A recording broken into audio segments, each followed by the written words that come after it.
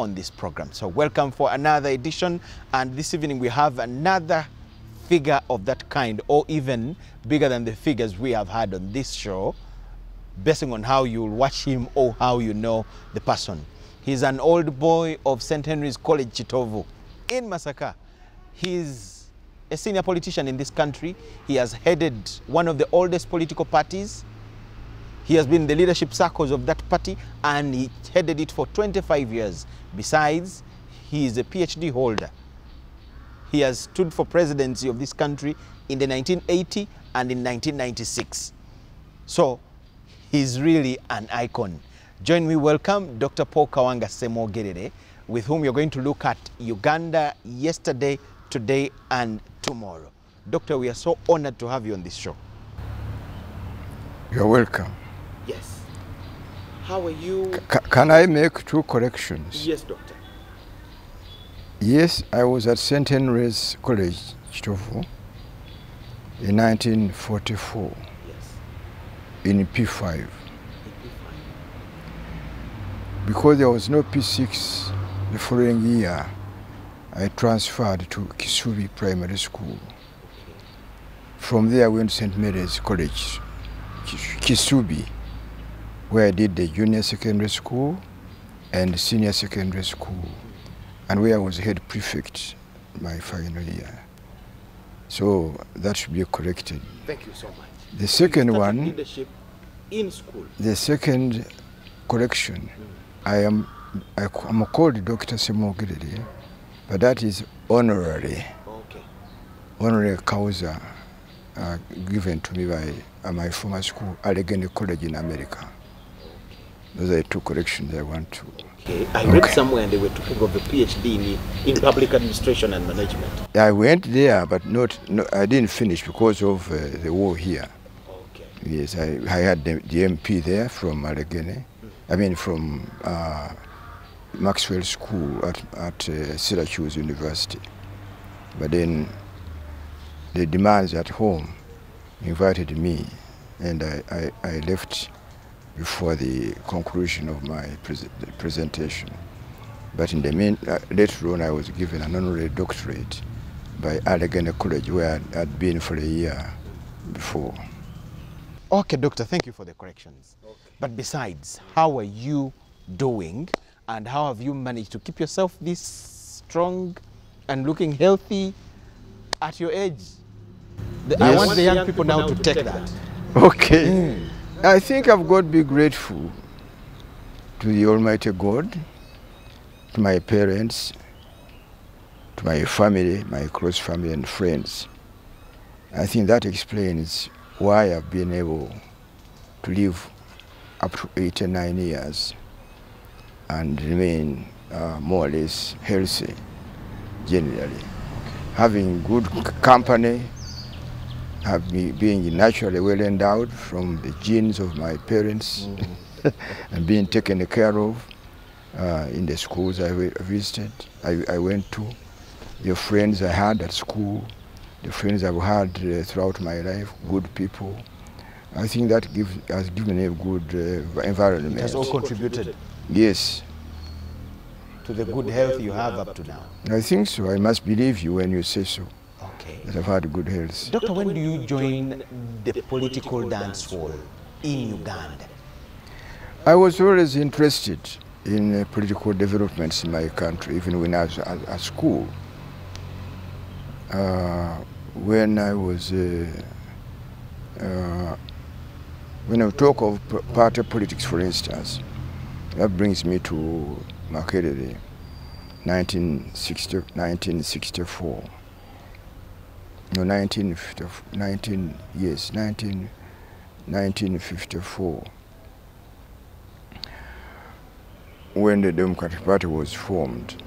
And uh, I was uh, at that time active because I'd been uh, chairman of Baganda Students Association at Makerere. and was following what was going on in the country with keen interest and good contacts. And I was invited to be one of the people to sponsor for the formation of the Democratic Party in 1954. And uh, Then I remained an active member since that time. Okay. Uh, 1956 is my first time to see Mr. Benedicto Kiwanuka when he finished his law studies in England and uh, came back, was given a reception, kind of a graduation party here at Rubaga by the Democratic Party leadership, then led by Matayo Mugwanya. And I was one of those uh, happily invited. And we met for the first time with Ben Kiwanuka. But I had followed him uh, since the yes since the uh, exile, the deportation of uh, the then Kabaka of Uganda, uh, Edward Mutesa, in 1953, uh, which uh, caused a lot of concerns among us, uh, particularly Baganda. I attended the meeting of the Buganda Lukiko when the uh, deportation order was read to the Lukiko of the Kabaka and uh, the governor then, Sir Andrew Cohen, uh, invited Uganda Lukiko mm. to forget about Mutesa and uh, uh, take the opportunity then given to elect or appoint elect Another king. another, another king. Mm. And the, the governor then expected one of two choices, either to, uh, to accept this invitation uh, to have another king and, re- and retain the monarchy, or rebel. And they knew that people here could rebel. They had done so in 1949 when you had Bataka Boo. Uh, they thought they might, might, they might rebel. And in the case of rebellion, the governor had made sure that uh, situated people were on the alert. Military and police were ready to crush To handle whoever would get to the streets. the, the car. and what happened is this, this, this Lukiko uh, was inspired to choose neither of the two options. Doctor, you headed the they, they never accepted Mm. to choose another king, nor they nor to go into rebellion. They chose wisely to set up a committee to go to Britain and appeal against the decision of the of their servant here, the governor. And when they went uh, to Britain, they are among other people. They met this law student, Ben Kiwanuka, who was very helpful in uh, giving them legal advice and leading them to meet legal experts. Where, where after, and after that, they decided wisely to file a suit in the High Court here to challenge the decision of the governor to deport, Buganda. yeah, to yes, to, to remove from the kingship and deport him. It was a very interesting case, which eventually succeeded. The case was, was succeeded. It was found that the governor had decided had, had invoked the wrong article, and which had no such powers, and that led to the Kabaka's return. Uh, Kabaka's return. So this brought Ben Kiwanuka into the, the, the, it's- it's film like- the, the, the, The the, yeah, the, the, the limelight of everybody, including ourselves. And so when he came, it was very interesting for me to be able to see him. He had also heard about me, and we we made friends, and, and uh, that is what that that eventually culminated in two things. First of all, is being elected president of the Democratic Party in 1958 at Tororo, and he's inviting me to relinquish my job where I was teaching at St. Louis College, Fort Portal, to relinquish my job and join him to work for independence of Uganda on a full-time basis without salary. How so? So that, that's when I started. active politically. Hmm. How would you describe the group of young people? Because I'm sure you were part of the groups that put up spirited struggles for Uganda's independence. What kind of groups were you? I rather would like to say not group, but what were the reasons? In 1957, Ghana attained its independence. The first black African country, besides, of course, Sudan, which had earned its independence in 1956. But Ghana was particularly inspiring, and uh, the youth there, the students and so on, had played a, a big part in uh, the struggle for independence in Ghana. And that inspired many students in Africa. And uh, at Makerere was not uh, an exception. Definitely. So, and I had uh, had a visit in Ghana, 1957, uh, as a member of the World University Service Committee, because I was uh, at that time uh, in charge of foreign relations of St. Augustine Society at Makerere. And in that, by virtue of that, I was a member of the World University Service Committee in Uganda uh, here. We were invited to Ghana, and so I saw firsthand uh, the big names there, people in Ghana, Kuma, Sante Hene, so on. So well, Ghana uh, led, led, led the, the fight, and the university at Makerere followed, and uh, we had presidents of different uh, uh, countries at, uh, associations at Makerere who, who took up this, the, the, who, who became interested in, uh, uh, well, pronouncing their countries in favor of independence. And Tanganyika was one. Tanganyika Student Association uh, invited uh, Nyerere then, who was president of TANU, and he addressed us, urging uh, to take up the struggle for independence, for So freedom. mostly you were elite groups of young people from universities. In this case, Yes. at Makerere, yes. And uh, besides Tanganyika, then there was Kenya. So the Kenya Students Association, uh, they also invited Tom Mboya, if you heard of him. He was a leading uh, fighter for independence in Kenya. So he came and he also addressed us. And I was now, at, at that time, I was the president of the Uganda Students Association. It was called UMUSA, Uganda Makerere Students Association and it was my turn. It was a bigger challenge for me because in Uganda there were more parties uh, which were already uh, formed, which had been formed, and all, all, all, all of them uh, talking about fighting for independence. And uh, having kno- known Ben, given background I've given you, it was easier for me to pick on him. And I considered him, and I think rightly so, to be the best qualified among the Ugandan political leaders at that time. I invited him to come to Makerere to address us. And I can tell you it was a very, very welcome visit. Uh, and it was his first ever to be at Makerere because he had not studied at Makerere. I studied in Lesotho before I went for law school in America, in, in Britain. You know, it was a challenge for him. If he didn't do well, his fate would be sealed. yeah. So it was, it it was a successful, mobilized. Your struggle for independence. We have seen youth trying to do a lot of things here and outside Uganda in many countries.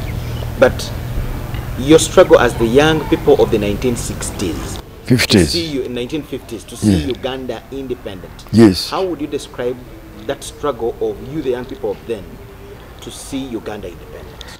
Well, uh, Uganda, unlike How easy or difficult was it for you? I would say it was not so difficult because Uganda was a protectorate. It was saved the harsh colonial rule that prevailed in South Africa, that prevailed in Kenya, all right? So it was generally uh, a reasonable administration, but colonial.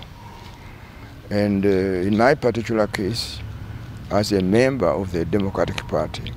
It was also not so bad because the Democratic Party believed in, uh, of course, truth and justice, believed in uh, winning freedom independence, but by peaceful means. So there was not the risk that some youths elsewhere uh, encountered in other countries uh, who immediately went the bush or whatever it is. It was done logically. It was done on base of arguments uh, on paper, arguments in the newspaper, and we had good newspapers here. And uh, it was to demand the fundamental rights of the Africans in an intelligent way. We, with whom, whomsoever we encountered, whether it was uh, lecturers, whether it was people in the newspapers, whether it was uh, governor's statements and so on, it was uh, an intellectual argument. You, you did not riot, you didn't demonstrate. We, we didn't. Uh, we didn't. We, we normally argued. Uh, yeah, we had rallies, we had meetings, yes, but uh, it was not violent, you know, in the Democratic Party. Of course, we, are, we, we met challenges from some other uh, organizations are subsequently. What were the challenges, Doctor? The challenges? Mm.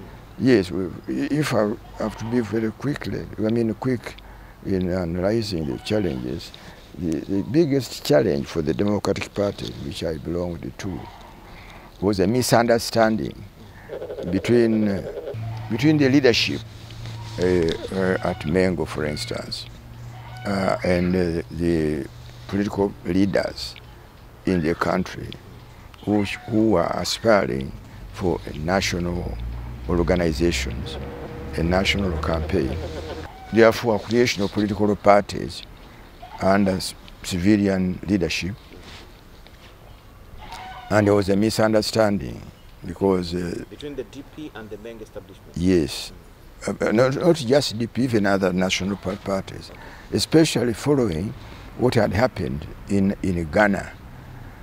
In Ghana, soon after independence, as you probably know, Nkrumah uh, uh, uh, dissolved the, the, the, the, independence constitution and among other things abolished the monarchy. Traditional monarchy. Yes. Mm. And uh, that was sending the wrong message that probably by forming nas national political parties, we have the same thing. Scenario. Yeah, and it was very painful for me, if I recall, to see, for instance, Ben Chwanuka and his followers, who included now the former leader of the DP, Matayo Mugwanya, who had been the leader of the, the committee that was set up to negotiate for the Kabaka's successful return, being classified as a threat to the monarchy in Buganda. Uh, even myself, who, who had been uh, uh, chairman of, of the Waganda Students Association at the university. at the university. all right, with all, and and, uh, and and whose ancestry came back really to the first Sewana, who was even an, an acting uh, uh, kind of uh, king here before he came to came on the throne. So it was very painful. Uh, and it, it, it, it, it, it, cost us uh, an election. But otherwise, uh, was comfortable in our argument, in our case, for uh, the right of the Ugandans, like other people elsewhere, to, to govern themselves and to govern democratically, constitutionally, and uh, treating everybody as equal. So I was very comfortable at that level. I didn't see anything wrong. And uh, we were paid off because eventually... You got the independence?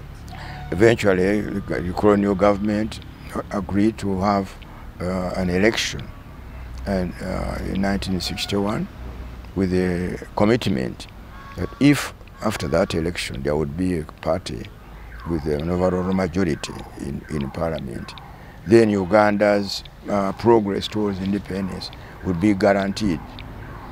And we, we, we participated in that election, but suffering from a boycott uh, an, an unofficial but effective boycott uh, declared in Uganda here. That means we had low polls, uh, but we managed to get to, to, to, to have an overall majority and eventually uh, move forward, attaining self-government uh, in June of 1961.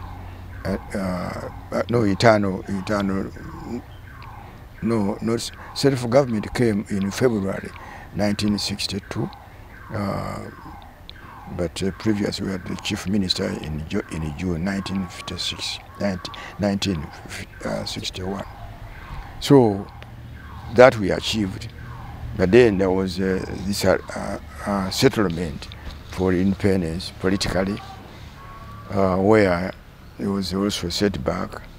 Uh, given the misunderstandings I told you about our people in Mengo here, they formed uh, a cultural organization called the Kabaka Yekka, yes. the King Alone. and when it was formed, uh, it, we were now the targets, having been uh, in government, having, having uh, uh, gone into the elections uh, without their sanction, uh, and, and, having become the, the government now between 1961 and 62, who were now the targets and our friends in the UPC now changed their mind and uh, decided to work with, with, with, with Mengo and, and they formed a, a coalition. Which later became a problem. Which, which, which now uh, stripped the polls in the, coming, in the election of 1962, okay. right? Mm. Uh, but subsequently, as you probably know, this, uh, this, uh, this coalition or alliance, which was uh, misconceived, uh, became a problem to both parties. And within two years, it fell apart. It fell apart. And uh, that brings me to a problem which we still have now. Okay. When, when uh, Obote realized that uh, his alliance with Kabaka Yekka uh, was, was destined to fall apart, he moved quickly to stage what he would call a constitutional coup in 1966. See, uh, so that he could now remain in power, not on the basis of popular support nationwide, because he knew that by, by dissolving the alliance, the whole of Uganda would turn now against him. And if he called an election, which would have been the proper thing to do, he was sure to lose all the votes from here and would be defeated. Now, in order to, to, remain in power, he changed the, rules of the game. He staged a constitutional coup, dissolved the, the Constitution of 1962, and he, en, he enlisted the military into politics to constitute his firm political base. All right? So with that coup of 19, constitutional coup of 1966, uh, the, the, the, key figure now, the key ally of Obote became Idi Amin. And with that, and he was sure that Idi Amin would be in full control of the military. So he used the military to uh, blackmail parliament to regularize his stay in power the, the, use of the military. Right, uh, to, to regularize the, the, the, the, the, the, the constitution which he likes. Doctor, I want to uh, uh, I want to take you to 1980, briefly, but in the interest of time. Yes.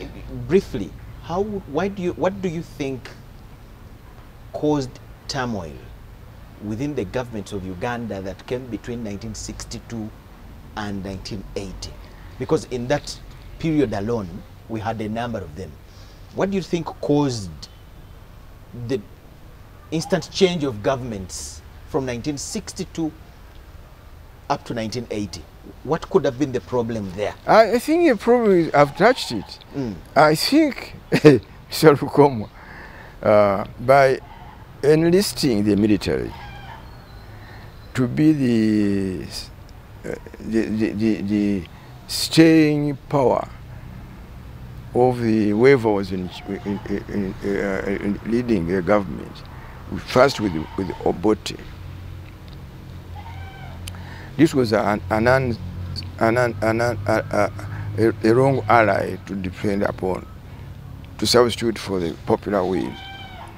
So time came when Idi Amin and, and Obote fell apart. And that explains the collapse of Obote one regime in 1971. Uh, then Amin, having the backing of the military to overthrow the government of Obote one, yes, it served him for some time. But the time came in 1979 when that military backing him was not strong enough to defeat the challengers militarily. And that brings in Moshi conference where people in exile and elsewhere gathered with the support of uh, President Nyerere who had, an, who had his own fight against Amin because Amin had invaded Tanzania. Uh, so when all those forces joined and they mounted the military attack on Obote, on, on, on, on Idi Amin, Amin's forces were not strong enough to safeguard him. So he had to flee, go to Saudi Arabia and so on. All right. And now we come to 1980. Yes. You see, in 1980, Obote got into power largely because he had the backing of the military. I was a presidential candidate in that election. It's very painful to recall. But the real explanation is that the military, the military, the military uh, with Paulo Muwanga as chairman of the military council, with Tito Okero, with Basilio Okero, and many others, they, they saw Obote losing and they, they counted on some international support for a, a, a, a clever coup, right?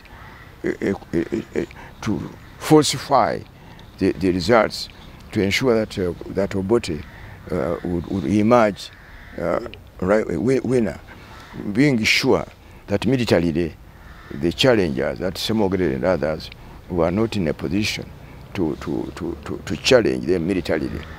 It is that, that was the secret behind the, the, the stolen elections of 1980.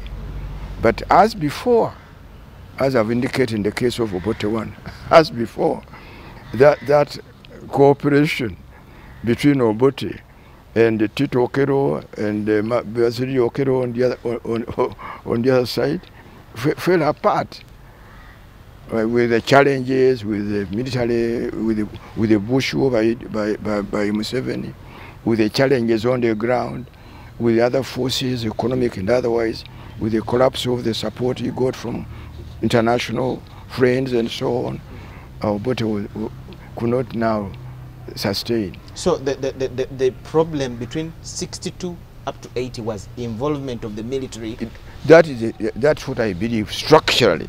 That was the problem. That the people in Uganda were denied the, the right, their fundamental right, to be the deciding factor as to who should be in government and how that government should run and when uh, government comes out with its own uh, wise uh, judgments, uh, visions, and so on, and doesn't count on, on, on the support or and understanding of the, of the, the citizenry, it, it invites the military to suppress the people and then stay in power. And and and at and at, at, at, at when you do that, as we are, uh, the case of Uganda demonstrates very well, the time comes when this friendship collapses, and therefore change the government collapses. Doctor, is it true you had won the 1980 elections? I believe it. Why? I believe it because the secretary of the Electoral Commission telephoned me to congratulate me upon our victory.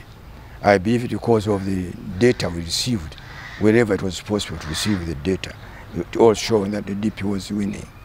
I believe it because of the reaction of the military, military, the, the military council, who were at that time backing, backing Obote. When they saw everybody celebrating and so on, they, they, uh, they had to stop it. So they, they, they, they, they invited us, they threatened us, uh, and, and, and, uh, and so on. And I believe it because under the circumstances, the returning officers were stopped by, by, by uh, pronouncement, were stopped from declaring the results and submitting everything to the military council chaired by Paulo Muwanga. Okay. And that is where the forgery took place. Why did you choose to just sit back as the DP that had won and your victory had been taken away. Yes, sir. Today people go to court and things like that. Yes, I, I have told you the history of the Democratic Party and myself. We believe in a peaceful, more, uh, peaceful approach. We don't believe in uh, fighting. We don't believe in killing people for power. We believe in arguing our case as best as we can and convincing people and having a peaceful change. Was that appropriate at the time? Yes, and it paid. We, we had meetings here.